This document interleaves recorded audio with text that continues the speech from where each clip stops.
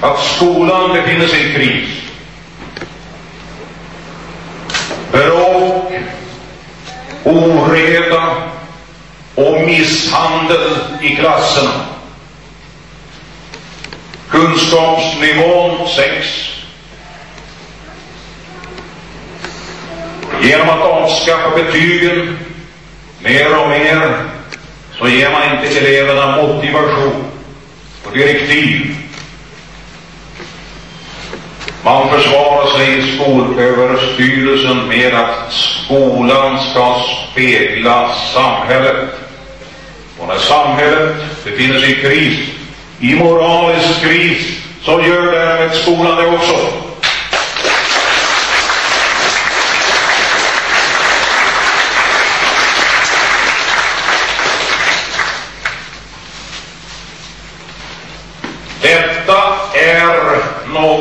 Helt annat än den spjutspets in i framtiden som Olof Palme talade om när han var undervisningsminister på 60-talet.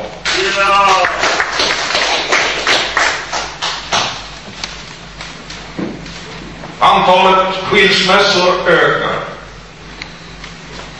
Och därmed antalet splittrade hem. Sverige innehar världsrekordet med dubbelt så många skilsmässor som till exempel Västtyskland, som borde kunna vara jämförbar. Äktenskapets helgd, familjelivets värde respekteras inte längre. Egoism och kortvarig materiell njutning, det är vad som predikas i underhållningsindustrins och idag massmedias idoler. Och resultatet, det blir en sjunkande nativitet. Ja. Åtminstone inom den svenska folkgruppen. Några officiella siffror hur svenskarna förökar sig i förhållande till invandrare och flyktingar finns inte att få. Man slår ihop allihopa och resultatet blir i alla fall nya bottenrekord varje år. Genomsnittsfamiljen i Stockholm, till exempel, det är inte två vuxna med två barn i en trerumslägenhet som folk har haft för sig. Utan det är en ensamstående kvinna i ett rum och kök. Det är nämligen bara vart sjätte hushåll som har barn överhuvudtaget. Och medeltalet barn per hushåll är så försvinnande litet som 0,25. En kvarts barn per hushåll. Det är nu som det borde skriva bok om kris i befolkningsfrågan. Och inte mitten på 30-talet när alternativet var betydligt högre. Idag skriver inga ledande socialdemokrater böcker om kriser i befolkningsfrågan. Därför att idag har man fått igenom alla de sociala krav som var det yttersta målet med Gunnar Alva Myrdals bok. Hyresbidrag, barnbidrag, skolluncher och så vidare.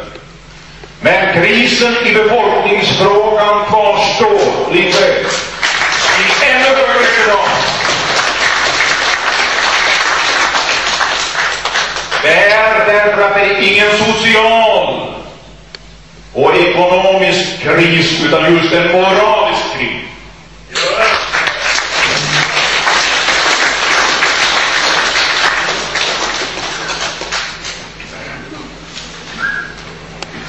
Här har vi några av PSS och Framstegspartiet har gått samman för att bilda Sverigepartiet. Därför att det gäller att skapa en ny nationell anda och solidarisk uppslutning kring de nationella värdena. Och ett huvudvillkor är att, för att Sverige ska räddas är att Sverige förblir svenskt.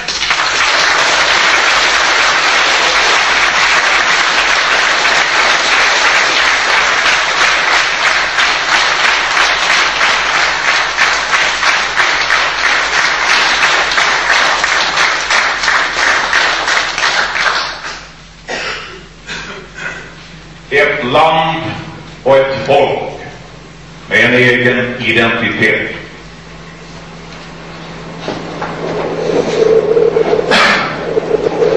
Alla de oroliga frågor som medborgarna ställer sig, de förbigås idag mestadels av tystnad hos gammelpartierna.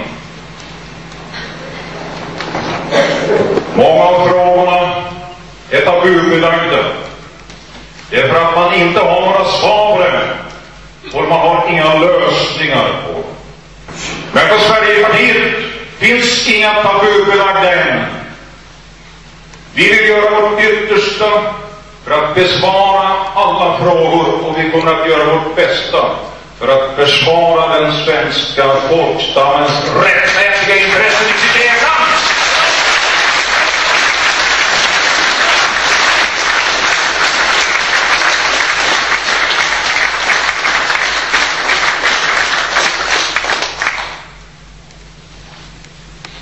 Det är vår förhoppning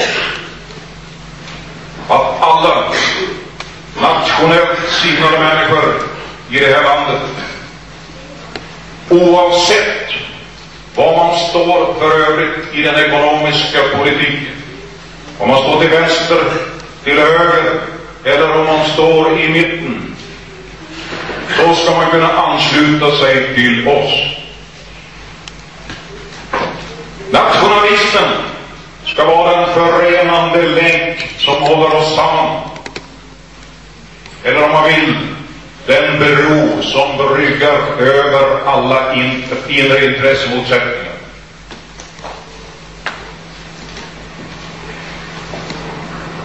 Vår främsta uppgift i egenskap av valtagande, valdeltagande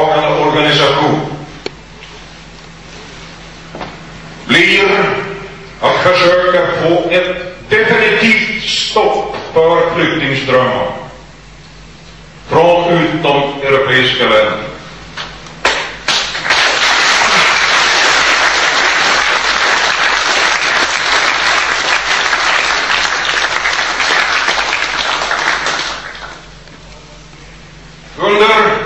1984-85 kom 36 320 flyktingar hit med anknytning. 18 160 per år. Över 8 000 av dessa saknade pass, vilket har gjort det så gott som omöjligt att kontrollera deras identitet och bakgrund. Ett Säpo finns säkerligen många hemliga agenter dolda bland dessa. Främmande makt utnyttjar givetvis den svenska flatheten och smugglar in eh, spetsnas soldater med uppgift att behov kunna döda. Grova förbrytare som önskar byta identitet kan naturligtvis också slinka in bland fastlösa flyktingar. Och det är typiskt för den svenska flatheten att man i Frankrike inför visumtvång för att kunna kontrollera den inpasserandes arbets och uppehållstillstånd så begär vi i Sverige inte ens pass för att kunna bestämma flyktingens identitet.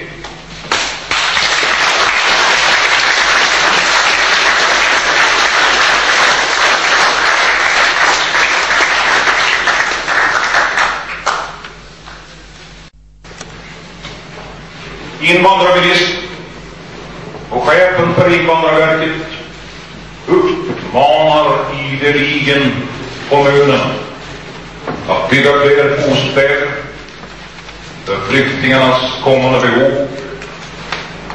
Man påminner kommunalpolitikerna om att avtalen med Invandrarverket inte är någon engångs eller tvågångs eller tregångsföreteelse.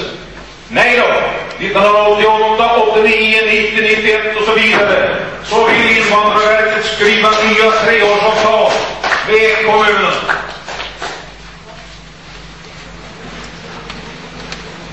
Och vi alltså idag har minst 120 000 flyktingar. Och genomsnittet för de kommande tio åren blir cirka lågt räknat 15 000 per år. Så har vi byggt en kvarts miljon om tio år. En kvarts miljon muslimer uppblandade med lite negrer, kineser, zigenare från de östeuropeiska staterna. Man skickar ju hit och gör sig av med sina egna socialfall i vetskap om att vi inte skickar tillbaka dem till någon öststat. Men hur kommer ett sådant Sverige att se ut? Förutom att hela landet kommer att bli nedklottrat med arabiska hieroglyfer.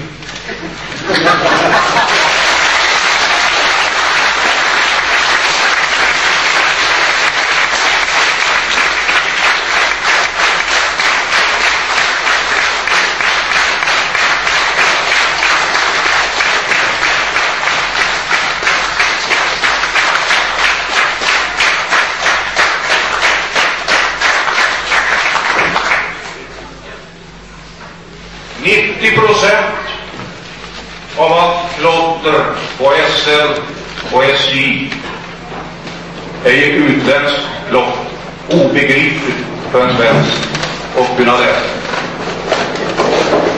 SL borde veta att de ska skicka sina räkningar på 20 miljoner varje år, skicka dem till Invandrarverket. Där finns det dessutom gott om pengar.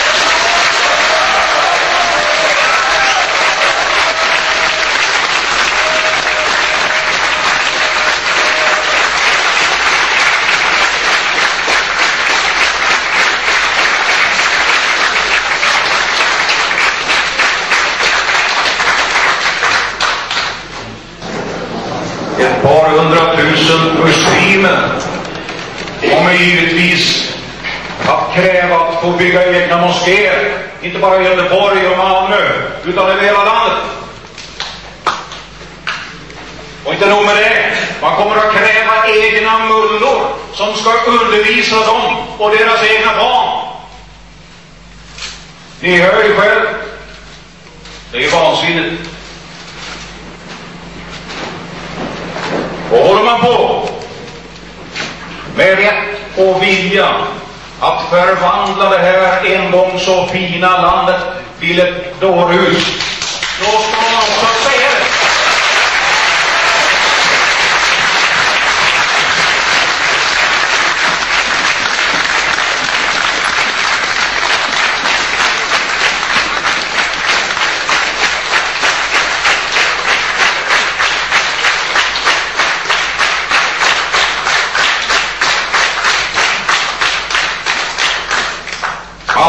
Allting ska ju varudeklareras nu för tiden. Då bör man också skriva vid gränsstationer och gränsbommar så att vanliga turister och vanliga människor vet vad de ger sig in i. Ni passerar nu gränsen in i världens största dårhus, borde det stå.